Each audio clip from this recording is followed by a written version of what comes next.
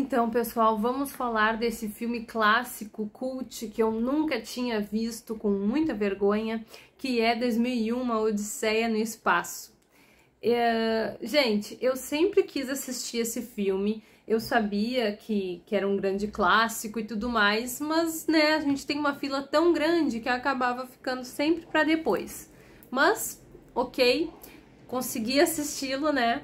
E é um filme de 68 que me chamou muito a atenção, assim, pelos efeitos de câmera. O Kubrick é, é muito bom em fazer perspectivas de câmera e em conceitos abertos para gerar uma um nervoso, alguma coisa assim, e ao mesmo tempo ele consegue fazer vários efeitos e, e a qualidade do filme também é muito boa para essa época. Eu fiquei bem encantada e me chamou a atenção da me chamou muita atenção assim dos figurinos que eram para ser futuristas, mas são super anos 60, né? Mas isso me chamou atenção e eu gostei, né?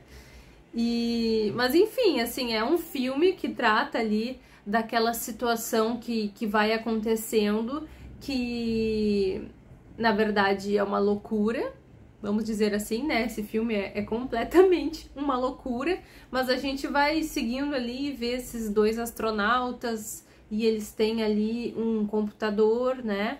E esse computador acaba dando uma falha e aí que começa a situação toda. Eu não entendi o final, é bem alucinante, é bem psicodélico. Até tem um clipe que fizeram muito interessante do Pink Floyd com a música Echoes e, e combina bastante, assim, porque aquela parte, assim, é bem bizarra mesmo. É um filme de 2 horas e 20 e 20 minutos é só destinado a essa loucura, né? Mas enfim, eu acho que o filme mostra bem essa coisa, assim, ali dos primórdios, mostra bastante tempo os macaquinhos ali lutando por território, mostrando como é que eles se comportavam.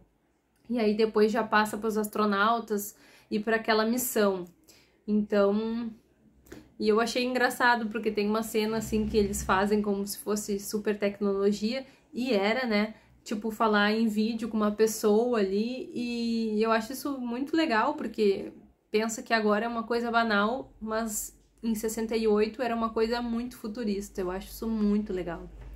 Mas é isso aí. Assistam.